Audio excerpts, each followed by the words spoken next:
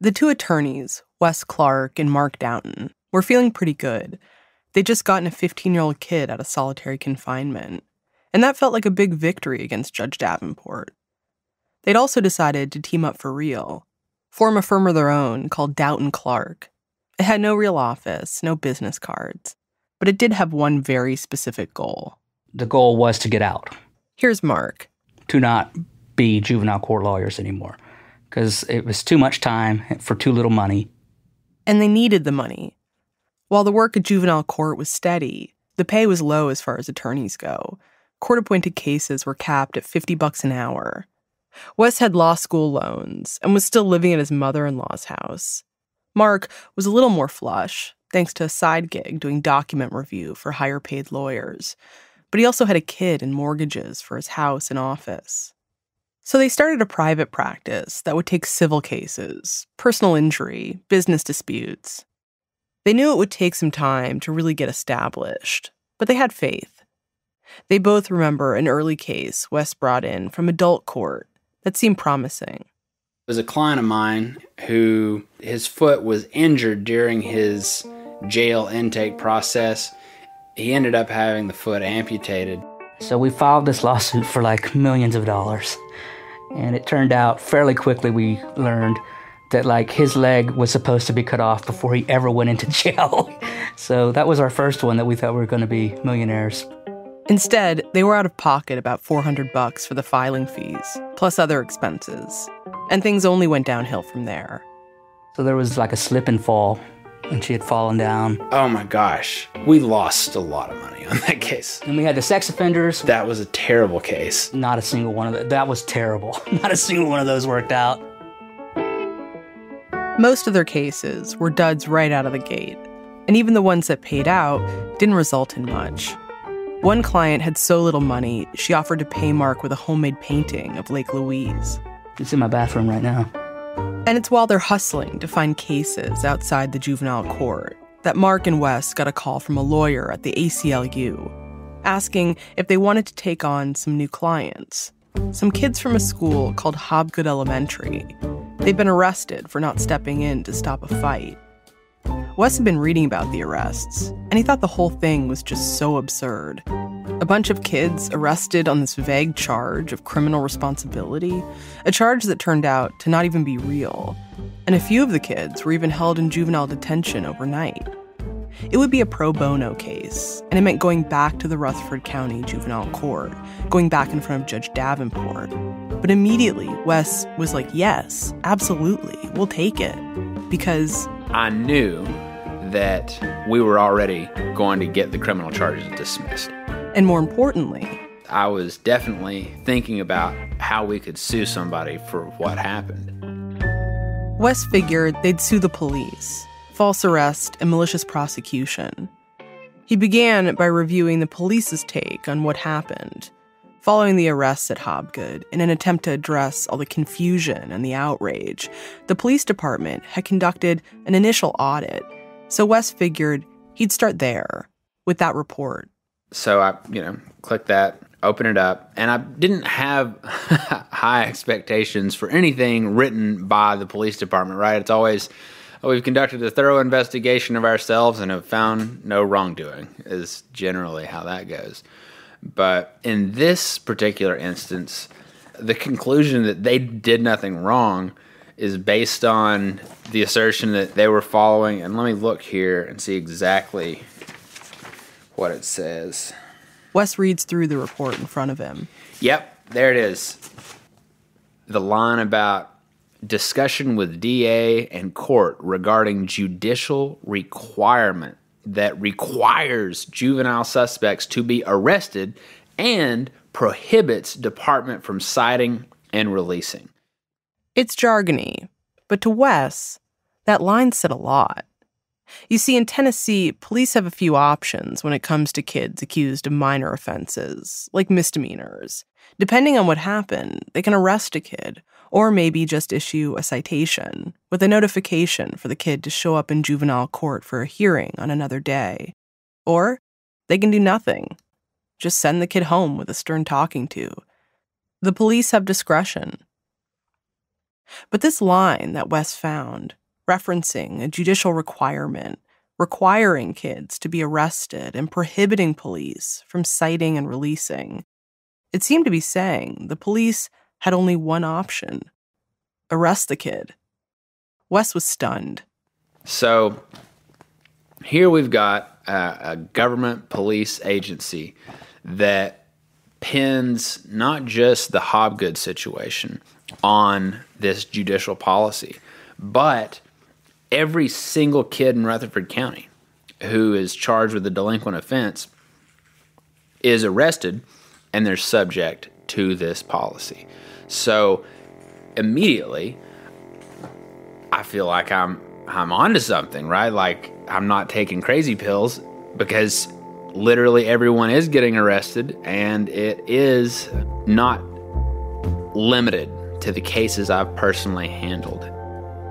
To Wes, the whole thing seemed illegal and perfect for a big lawsuit. I just remember being giddy like a kid, you know, like this sentence, this is fucking bonkers that this exists. And as for the judicial requirement, Wes knew immediately who was behind it. That's that's just Davenport, right? Davenport, meaning Judge Davenport.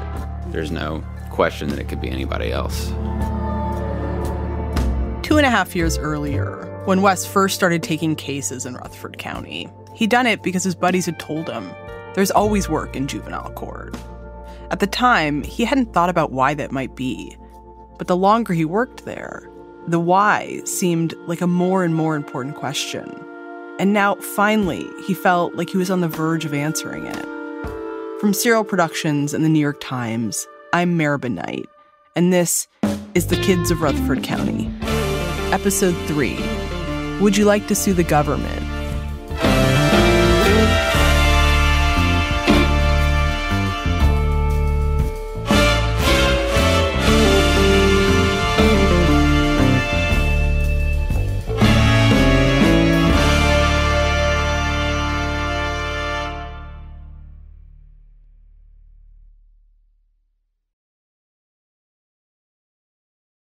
When Wes found this line about there being a judicial requirement to arrest a kid for any and all infractions, it felt like a smoking gun.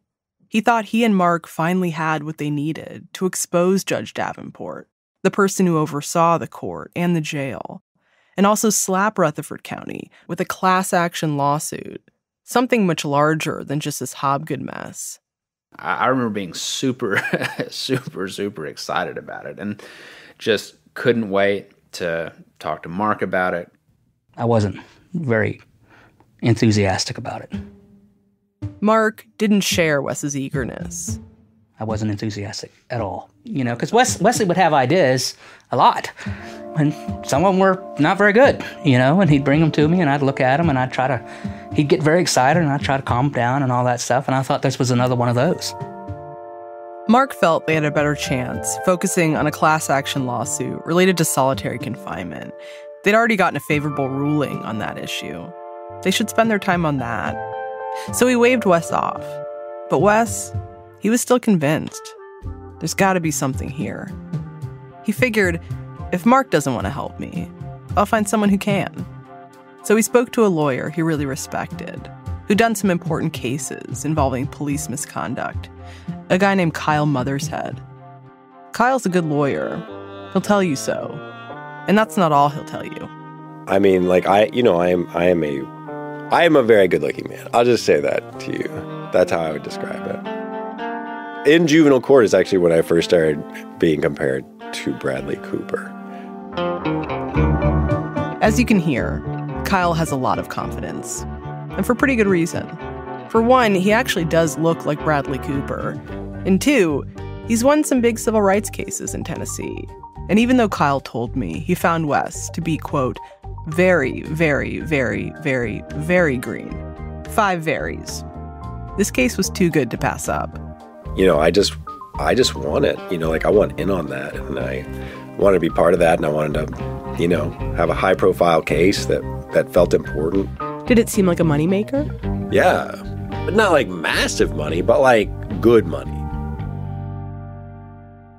Kyle laid out a plan for Wes. Let's first file a lawsuit on behalf of one of the Hobgood clients. Then, maybe through discovery in that case, we can find evidence that Judge Davenport really is telling police to arrest all kids in a way that violates state law.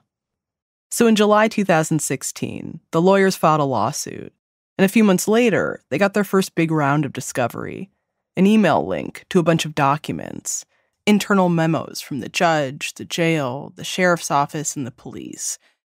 As they started reading through the documents, they quickly found exactly what they were looking for a series of policy memos written by Davenport to law enforcement about arrests. One memo said even kids accused of the most minor offenses, things like skipping school, smoking cigarettes, or breaking curfew, should be, quote, taken into custody and transported to the juvenile detention center. There was no other option, no notice to show up in court at a later date. Nothing. The police had to arrest kids.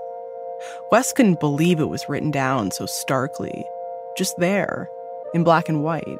I remember thinking, how stupid could you possibly be to put this kind of a thing in writing in simple terms and then send it out to a bunch of law enforcement agencies? Because it immediately, to me, appeared to be illegal and in excess of her jurisdiction, you know, borderline criminal, because you're directing law enforcement officers to commit mass illegal arrests of children. This explained so much why Rutherford County's police were arresting so many kids. But it didn't explain everything Wes had been seeing. Remember, for over two years, Wes had been in court waving around the state's detention statute, complaining that his clients were getting jailed when they shouldn't be. Tennessee law was really clear and narrow about when a kid could be locked up, generally for only the most serious charges and circumstances. With the memos, Wes now understood why these kids were being arrested and brought to jail for processing. But why were the county's juvenile jail staff also locking these kids up instead of sending them home? Well, Wes found the answer to that was also written down in black and white. Come to find out that Lynn Duke just like wrote the policies. You know, they got rubber stamped and implemented. Wes is referring here to Lynn Duke, the woman Davenport appointed to run the jail. For years, the jail had an informal system for its intake process. If a jail staffer wasn't sure what to do with a kid, put them in jail or let them go, well, they could call administrators like Duke or even Davenport, who would tell the jail staff what to do with the kid. Lynn Duke declined to talk to me for this story, but in a deposition, she said the problem with this informal system was that it was exhausting. Jail staff had just too many questions for administrators like her, especially after work hours. So in 2008, Duke and her team put together a new intake policy called the filter system, a quote, guideline jail intake officers could refer to when deciding to keep a kid or release them. It was a two column chart. On one side was when to release, on the other was when to hold, i.e., hold a kid in jail. But under that section, many of the reasons listed were in direct violation of actual Tennessee law. For instance, this so called filter system said kids would be held anytime a victim alleged an injury, even just a scratch. A kid could get jailed. The most disturbing category, though, was also the most vague, and it echoed something Wes had heard a lot in Davenport's courtroom. According to the filter system, any kid would be held if they were considered, quote, a true threat. That's the line. That that phrase, true threat, if deemed true threat to themselves or the community, they could detain them for anything, regardless of what the charge was. But nowhere in the jail's manual did it actually say what a true threat was. There was no definition. It was up to the ranking jail staff to decide whatever that phrase meant. So, this true threat analysis was the made up sort of standard that they could use to detain a lot of kids that shouldn't be detained. Wes didn't know just how many kids had been wrongly arrested over the years because the police followed Davenport's memos, or how many kids were wrongly jailed by Lynn Duke's filter system. So, just to get a sense of how big this could be, he went into his own files to look back at all the kids he'd represented. So, what I did was I sat down in my office, and about a third of my files ended up as, you know, these people have claims. From what Wes could see, about a third of his old clients were either arrested or detained illegally, some both. And he was just one lawyer out of a dozen or so who regularly worked at the court. Plus, Wes had only been there for two years. The filter system had been on the books for eight. Davenport had been on the bench for almost 20. How many kids were caught up in this? Um, I was 16, yeah. was when I was uh, 14 years old. 15 years old. Ninth grade. I was like 11 or 12. Like I was 12 years old the first time I got arrested. How old were you? Seven. Oh my God. I talked to 25 people, now adults, who told me about being arrested or locked up as kids in Rutherford County. I had gotten into a fight at school. We went in a store and decided we were going to steal sunglasses and magazines. I just ran away. I ran away. I spray painted a penis on a wall. A kid named Zeb was in ninth grade when he got charged with petty theft for taking a portable speaker from his grandma. I remember sitting on my bed and I hear a knock at the door, and I kind of go towards the door, and uh, and then all of a sudden they come in and they said, "Mr. Smotherman, you're under arrest for like theft and put your hands behind your back." And I, I asked him, I said, "Man, how long am I going to be arrested for for this?" He said, "For a year, for all I care." Grace, 16, was at a party with some friends. We were just sitting on the couch when all of a sudden we hear a knock at the door. And we, we go to the door, and it was the police, and they came and they arrested us. They said it was a noise complaint, it was why they came. But then they saw that there were alcohol bottles and, and no adults present. So the police arrested Grace and her friends for underage drinking. And there was Thomas, the fifth grader arrested for truancy. I didn't want to go to school, and my mom drove me up there, like, you got to go to school. And um, I got out to walk up to the school, and I tried to turn around and, and run towards her, and I remember I was crying. I was like, I don't want to go here. I remember the principal, he grabbed me and threw me in a chair and sat on me until the cops came. So he put you in a chair and wait, he he sat on you? Yep, he literally sat on me and grabbed my hands until the uh, police showed up, and then they arrested me that day. Brandon, the seven year old, was horsing around with his older brothers in a vacant duplex, and they made some holes in the drywall.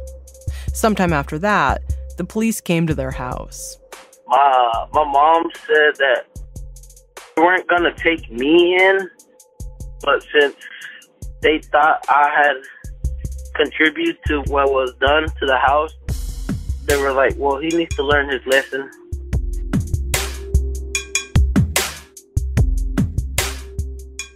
As varied as the reasons for the arrests were, the people I spoke to were usually thrown into the back of a police cruiser, often in handcuffs, and taken to the same place. So they arrested us and took us to the juvenile detention center.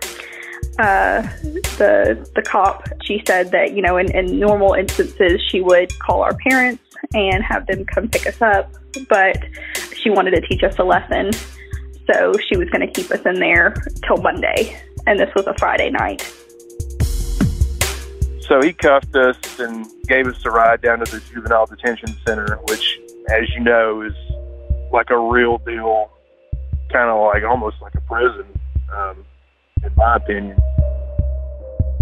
When um, um they took us in, they were just looking at like my date of birth and stuff, and they're just like, oh, "Well, you're very young, a little too young."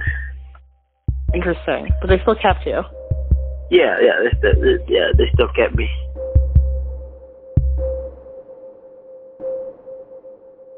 Once the jail staff decided to keep a kid, here's what would happen next. they started doing paperwork, intake stuff, you know, the mug shot, check you for injuries, that kind of thing.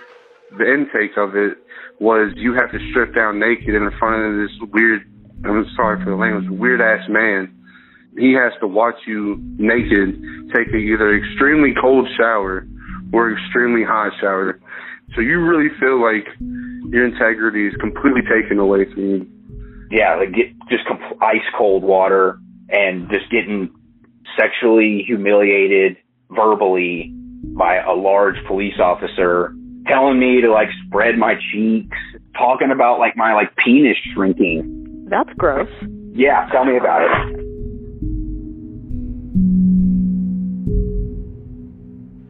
That was scary at first, you know.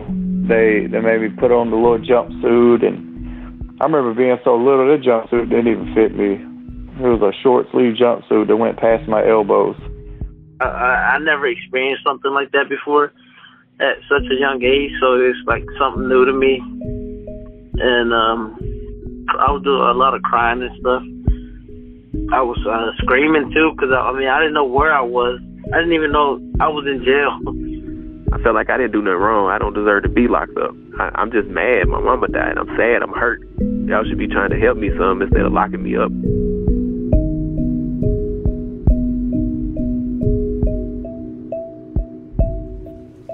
And that's your cell. You have toilet, shower, bench, bed, nothing. If you did fall asleep, you had to stand in corners. You don't get any books. And you're forced to sit up all day long. You know, you can do push-ups, sit-ups. You can work out, but other than that, if you lay down, they come yell at you, threaten to like yank you up, and then put you on lockdown. Lockdown, you might remember, was the county's term for solitary confinement.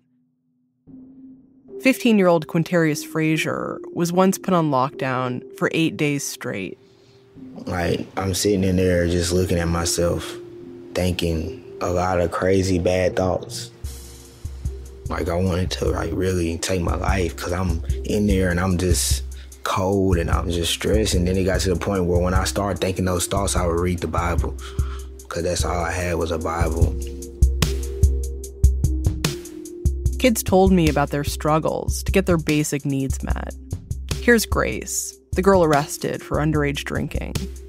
Um, while I was there, I started my period, and they refused to give me any kind of tampons or pads or anything. So I basically sat in a bloody jumpsuit for two full days while I was there.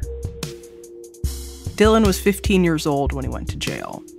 It was the first time he'd ever been in trouble with the law.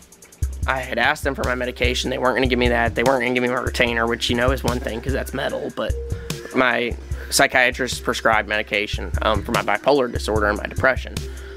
And so there's there's just a lot of constant anxiety and stuff. And so to be in there without this medication, now I'm manic depressive in this cell, and that that that's either got you bouncing off the walls or wanting to sleep all day, and you can't do either of them. You're stuck in a box, and so it's it's a real it's almost like a four day panic attack.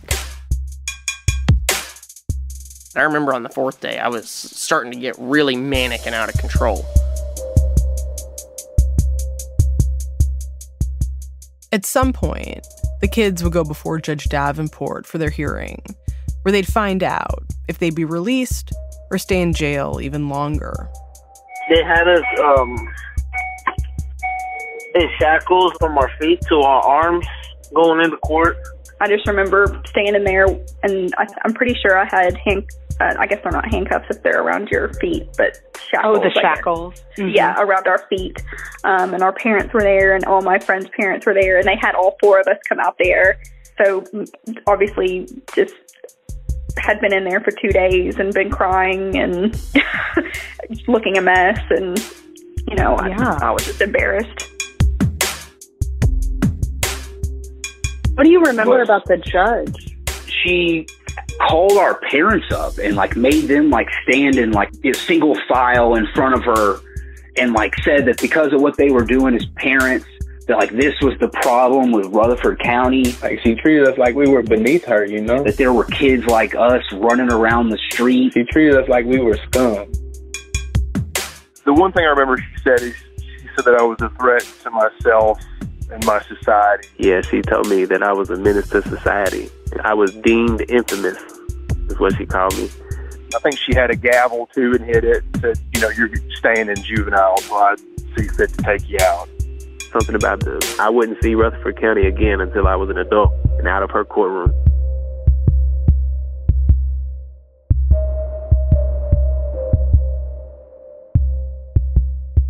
As for seven year old Brandon, Judge Davenport sent him back to jail for another week. For me, I feel like it was like a dream that never happened, but it actually happened.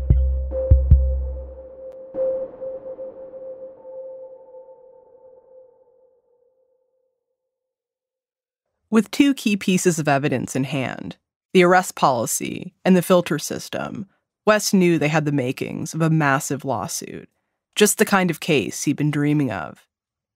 These policies had been on the books for years, and now seeing just how many of his own clients were affected, it didn't take much imagination to ponder the scope of it all. Four, five, six thousand kids, maybe, all of whom were now potential plaintiffs. So I started calling those kids and their parents and just telling them, hey, I'm Wesley. Good to talk to you again. Uh, I hope things are going well. Would you like to sue the government? When a handful said yes, that they were prepared to be the named plaintiffs for a class action, that's when things got real. Even Mark, who dismissed all this early on, was by now fully on board. Like, this was now a huge case. It was a huge case. A case that could finally hold the county responsible for its juvenile justice system and make a difference in the lives of the kids there. But let's be honest, these guys are also plaintiffs' lawyers, and they also saw the potential for their lives to change. We did think that we were going to make more money than we'd ever made on anything because it was such, it seemed so obvious to us that this was a gross deprivation of the civil rights of thousands of children. And how could that not be worth millions of dollars? $30 million, I think is what Wesley and I would throw around. The guys now knew, with all their hard evidence, that they had a powerful story to tell in court about the illegal things Rutherford County and Judge Davenport had been doing to kids. But for years, Judge Davenport had been telling her own story, and that story held a different kind of power. That's after the break.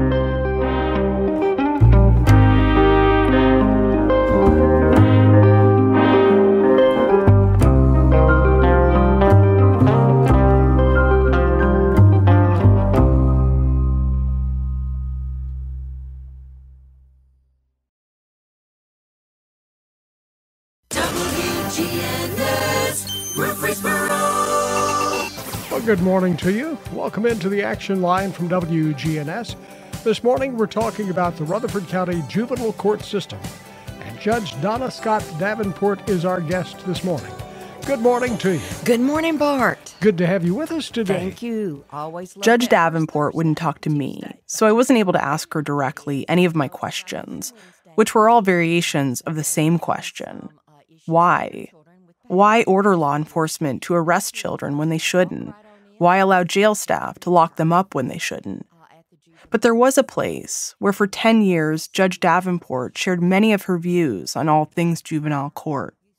WGNS Radio, Rutherford County's Good Neighbor station. On the first Tuesday of every month, she could be heard chatting with host Bart Walker III. And, and it's a sunny day out It is, even though if we got a little snow coming in, that's okay. We're always open for business down on South Church Street. Well, of course, tomorrow. I've listened to 70 hours worth of these radio broadcasts, and in the uh, process, I've come to understand something of Judge Davenport's worldview. A worldview with a healthy dose of nostalgia for a simpler time. We don't have that old traditional family sit down at dinner. How was your day? A time when society had better values. Then we continue to go downward with our morals and our ethics. Back before things like cell phones and video games infiltrated kids' lives. And every year, whatever would be new with the video games, and now we've got the phones and the games. With that comes increasing aggression. And I've been here so long that I do see the increase of our violence. The main thing that I During the years Davenport had this radio segment, juvenile crime in Rutherford County was actually on the decline. But statistics be damned. According to Judge Davenport, things were getting worse every year, and she was seeing younger and younger kids coming into her courtroom. we are having younger children that need assistance. And we do not have programs for children 11, 10, 9, 8, 7. And we You have are locking a now? we I've locked up one 7-year-old in 13 years and that was a heartbreak. But 8 and 9-year-olds and, and older are very common now. That's scary. Yes. I mean, that sounds like kindergarten. Part of the problem was parenting. Judge Davenport said many parents were simply unwilling to do what was necessary to keep their kids safe. you need to be um, monitoring what they do. Uh, do not let them lock their bedroom door and not allow you in. And we, some parents, they'll say, "Well, what do you want me to do?" Well, take the door off the hinges. Oh, well, that's a good idea. Well, uh, they don't need to be driving. Well, disable the car. Take the car keys. Don't have your keys out where they can take them. Common sense. We need a department of common sense. Listening to these radio segments, it sounded to me that Judge Davenport saw herself as part of that department of common sense, waging a battle against the decline in civility and morals, the increase in entitlement and aggression. And the detention center was a vital tool for keeping kids from going down that path. And they know if they break the law, there's going to be a consequence. And they're going to be detained, possibly. They're going to be held for a while, and they are going to be held accountable for their actions. And there is no more slap on the wrist. They're going to see some consequence. And I'd like to think that that's part of it, and that we will use our facility to detain children.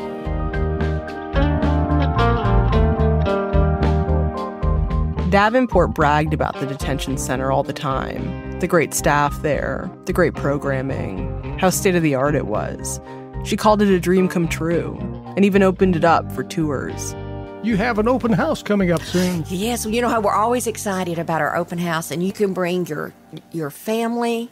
Uh, we do like to wet your whistle there and give you a little piece of cake. We have we'll have two tours. As for the kids who were held in the jail, Davenport liked to refer to them as hers, as in, I'm seeing a lot of aggression in my nine and 10 year olds. In fact, her role as a stand in parent was pretty explicit. You know, in, in watching you, you act like a proud parent. Well, I, I've been called the mother of the county, so That but is I good am. to I'm see. very proud of them because that's my job is to, to, to push them and shove them and, and fuss at them to know what, what's important and, and shape and help shape their lives and have them a future. That's my Listeners to the radio show would sometimes call in to praise Judge Davenport's work. We just wanted to call in and tell Judge Davenport how much we appreciate her and wanted to thank her for everything she does. It is, you're, you're a very good judge. You're, you're very fair. Uh, you do a very good job. I'm, I'm really impressed. And, uh, This is Butch Campbell. I just want to say thank you for your years of, of leading the young people of this county. You've done a heck of a job. Well, it's what I love doing every day. Well, I know, I know it is. Thank you. It's like in one reality, there were the lawyers, Wes and Mark, and now Kyle, who were saying, the way you've been running this operation is against the law. And it's pretty clear. The state says exactly when to arrest and jail a kid. And you in the county have ignored what the state says and made up your own rules. But on the other side was Judge Davenport, who was confident in her own criteria. And then you look to see if they are a risk to themselves or a risk to the community. And if there is a finding that they're a risk, then we can hold them. And uh, we don't use our facility as punishment. We use that only as detainment if they're a risk to themselves or a risk to our community. If they But pose a risk to themselves or this community, we will utilize our detention facility. A special thank you to Judge Donna Scott Davenport for joining us this morning. Hey, stay with us. We're going to check on the weather. and We'll be back. You may say that I'm a dreamer.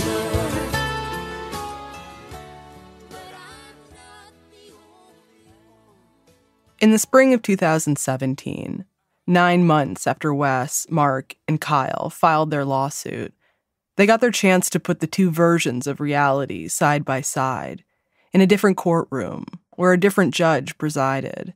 It was a preliminary injunction hearing where they would present all the evidence and say to a federal judge, Hey, while we know this lawsuit is still going to take a while to resolve, in the meantime, Rutherford County is illegally arresting and jailing kids. Can you force their hand? Make them stop using these policies immediately? The attorneys had uncovered a hefty bit of evidence to present the memos outlining the arrest policy, the jail's manual laying out the filter system. There was also some striking data from the county and the state that they found too, from just a few years before. It suggested that Rutherford County had been jailing kids at 10 times the state average. They also had depositions. Judge Davenport, in a deposition, told the lawyers that when she'd issued her arrest memos, it was never her intention to take away police discretion. But a sheriff's deputy, in his own deposition, said essentially, well, that's how his department interpreted Davenport's memos. It was why they arrested kids for even the most minor offenses. It's our policy to obey court orders and not be in contempt of juvenile court, the deputy told the lawyers. Jail staffers testified that they were trained on the filter system, that they could be quizzed on it when up for a promotion, or disciplined for not applying it as written.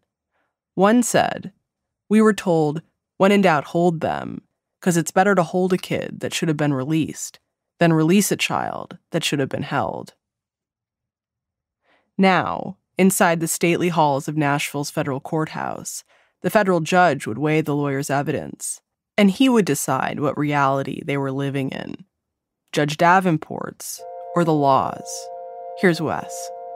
It was surreal. Like, I remember I'm waiting outside the courtroom before the hearing is to begin, and the county's lawyers are there, and a couple of the other witnesses are there. And then suddenly, Judge Davenport walks up, and I'm like, oh my God, there she is. And it was such a different context from how I had previously encountered her.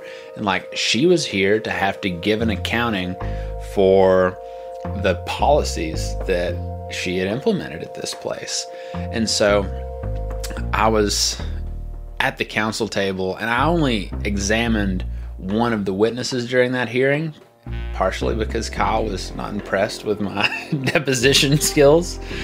But I watched as he examined Duke. Again, Duke, being Lynn Duke, who ran the jail and put together the filter system. As he examined Duke and Judge Davenport, and in that really thorough, meticulous way, like he wouldn't let them avoid a question. And if they tried to just talk around his questions, he would just ask it again and nail them down to the reality of what they had been doing here and of the reality that this two pages of statutory mandate that I had been carrying on about years before that, uh, they now had to explain why they weren't following it. And they simply couldn't. Judge Davenport, she just could not give a straight answer that made any sense about why that statute wasn't being followed. And in that context, everyone in the room realized how absurd it was that the statute wasn't being followed. So it was just it was the inverse of the the review of the statute in the juvenile court. Yeah, dig into that a little more. So you'd spent years waving this statue around, Yeah. telling her you're not following it. And now she's on the witness stand in a federal court and she's having to explain why she didn't it. yeah, it was it was so satisfying. I remember grinning. Like I remember just feeling my cheeks from like the the muscle musculature tension of me grinning for the entire time she was uh, trying to give some cohesive explanation for the detention policy. And at first I was like worried is there something we don't know? Is there some like brilliant legal strategy they're going to employ here today that we just didn't see coming? And whenever she started talking about the safety of the kids in the community as the standard, I knew that like this was it. She was going down. And I remember looking up Judge Waverly Crenshaw is a very uh, imposing intellect and figure. And I'm like watching him observe her testimony. And I remember he held his face with his hand and like his elbow was down. He was taking notes. And then at some point, he just set his pen down and put his hands and crossed them in front of him and didn't take any more notes. And I was thinking, that's a good sign that, you know, he's already made up his mind as to the testimony that's being presented by this witness.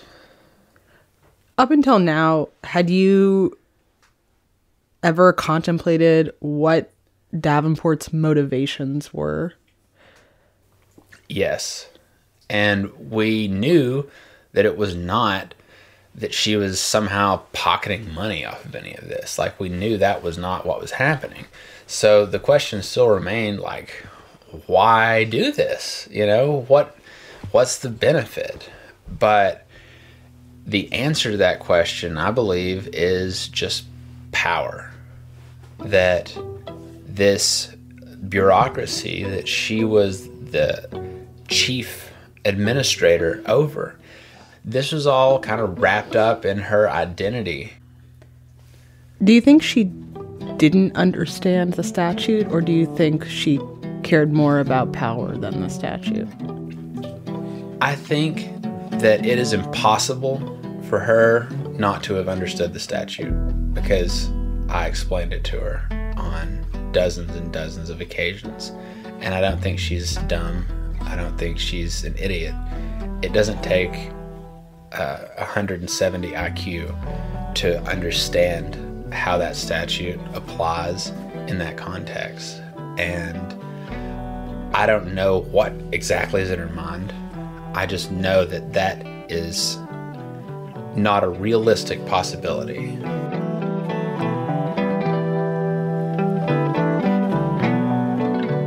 The hearing lasted only one day, and then the lawyers waited for a decision. If Judge Crenshaw rejected their request for an injunction, that could kill the entire case. It would mean the lawyers were out months of work and thousands of dollars. Even more, Rutherford County would likely continue to jail kids at an extraordinary rate.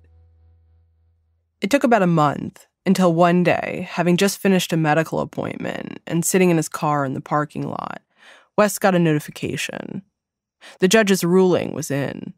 Only Wes couldn't read the order on his phone. So I remember flinging the phone into the passenger seat and I'm like backing up out of the parking lot and I'm trying to use the voice dial to yell at my car to call Mark Downton. And I'm just dying to get back to my office so I can actually open the order up and see for myself. But Mark picks up and he's already, you know, he's got his hands on the actual order and we're basically like school children who've just gotten a free holiday or something. I mean, Needless to say, they'd won. we're screaming like, can you believe it? We did it. We did it. Blah blah blah. You know, uh, they're so fucked. I think we probably said that two or three times at least. um, they are so fucked. Judge Crenshaw found that the kids were, quote, suffering irreparable harm every day through Rutherford County's illegal detention of them. He ordered the county to stop using the filter system immediately. He also said the arrest policy likely violated state law, but he ruled it wasn't a constitutional issue, so it was out of his hands. That said, police departments in the county eventually stopped following Davenport's policy anyway. For Wes, he told me Judge Crenshaw's ruling was the best thing he'd ever read in his entire life. For so long, he'd complained about Judge Davenport and what her court and detention center were doing to children. the arrests, the jailings, and for so long, he felt like he'd failed. Failed to get anyone to see what he did. Now, finally, his reality had prevailed. What had been happening to the kids in Rutherford County was wrong. The next step in the lawsuit was to make the county pay for it. That's on the last episode of The Kids of Rutherford County.